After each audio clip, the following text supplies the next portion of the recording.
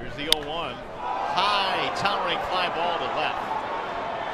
Gardner coming over to the corner to make the catch. Rajai tagging up.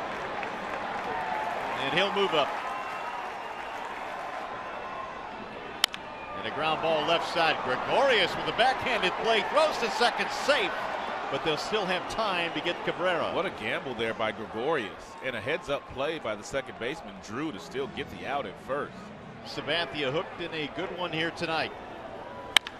Line drive off the glove of Gregorius into left field. That'll get a run in. Davis comes around to score, and we are tied. They walk Victor, and JD comes through.